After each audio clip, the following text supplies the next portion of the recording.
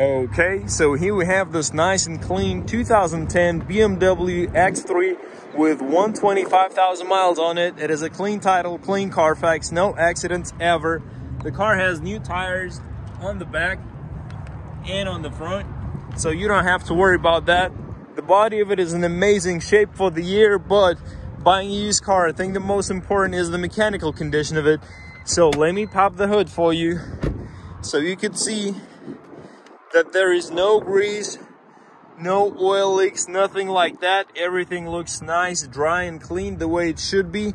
By the way, every car in our lot gets checked twice before we put it for sale. So you could be confident that once you drive it off the lot, it won't break down on you. So this one doesn't have any mechanical issues.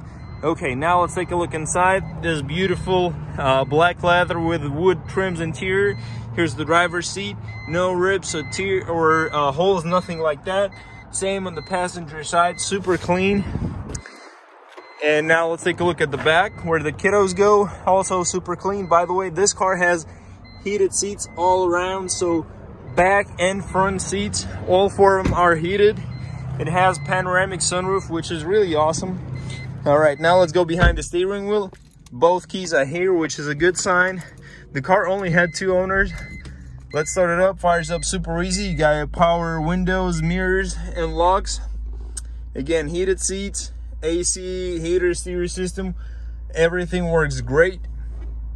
So guys, wrapping it up, 2010 BMW X3, 124,000 miles on the dash. Never been in an accident, two owners, ready to go. Come check it out. I'm sure you'll love this luxury very reliable. It's a 3.0 liter engine, very reliable. No turbo, nothing like that.